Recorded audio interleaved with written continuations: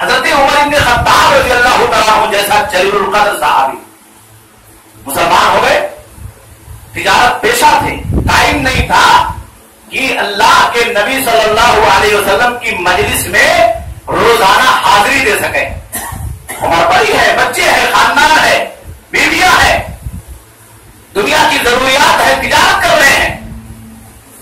لیکن دیکھیے کیسے علم حاصل کرتے ہیں۔ ایک انصاری صحابی جو آپ کا پارٹنر ہے وہ بھی بڑی عمر کا۔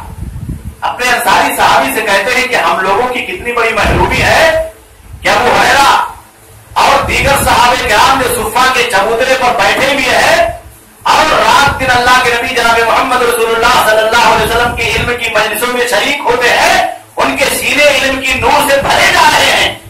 اور ہم دنیا کے اندر تجارت کرنے کے لیے، کھجوروں کو بیچنے کے لیے ویوپار کرنے کے لیے، مارکیٹ مارکیٹ پھر رہے ہیں دیکھو ایسا کرو کہ زیادہ ٹائم تو ہم نہیں دے سکتے ہیں، ایک دن تم باری لگا لو، ایک دن میں باری لگا لیتا ہوں۔ تم تجارت پر جاؤ گے تو میں اللہ کے نبی کی مجلس میں حاضر رہوں گا۔ جب شام کو لوٹ کر کے بزنس کر کے آؤ گے تو جو کچھ میں نے سیکھا ہے، دھندے میں نفع لینے کے ساتھ اللہ کے نبی کی باتوں کو تمہیں دے دوں گا۔